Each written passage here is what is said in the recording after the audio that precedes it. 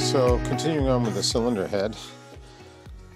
In order to properly uh, clean and service this cylinder head, we need to not only remove the valves, but also the rockers. Arms need to be removed. Consulting the manual, it states that um, when removing rocker arm shaft, remove the rocker arm shaft set bolts, number one, and plug number two, and screw the 8 millimeter bolt into the rocker arm shaft and pull it out. So this right here is the, you can see it, this is the 8 millimeter bolt that is talking about. So the manual is stating to remove this bolt and then remove this lock nut here and then put this bolt in to pull the shaft out is what it's saying. Now what I want to do is we need to keep these in order. This face that you see on this rock shaft, which sits on the cam lobe, they are again seated to each other and we need to maintain this rocker arm in this position so that when the camshaft goes back in, it's as if nothing happened and they're properly seated. So what we will do is we will remove these rocker arm shafts as directed by the manual and these we will bag and tag them so they're in the same spot. So remember this is the intake side, this is cylinder number one, and number two, number three, and number four. So this would be cylinder number one, intake rocker, cylinder number two, intake rocker, three, intake rocker, four, intake rocker. Over on this side, cylinder number one exhaust, two exhaust, three exhaust, and four exhaust. So what I'm going to do now is we're going to go through this step, step by step, and get this done. So I'll get the appropriate tools. 10 millimeter, 10 millimeter socket right there. And let's see what size bolt uh, nut we've got on. That's very thin. It's going to be really hard to get off. So I'm going to gently see if I can take it off using an adjustable wrench.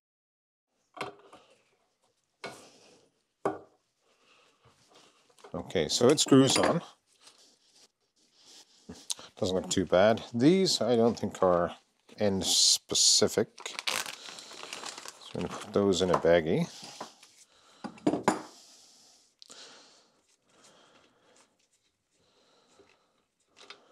So that's those two off. So let's see what size we're at now. So I think 17 mil is the best we're going to get. I'm going to use this ratchet wrench. Uh, it'll grip it a little better and hopefully not strip it.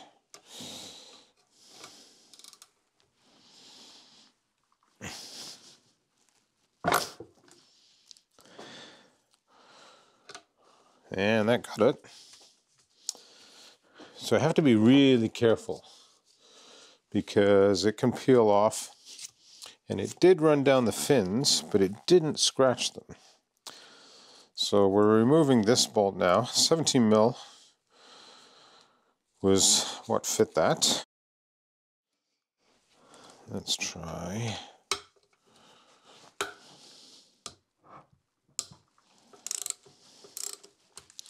loosening that off. So this again was a 10 millimeter.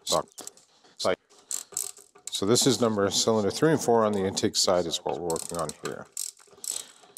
I'm doing this for the sake of the video. It's easier to see. It's now finger loose.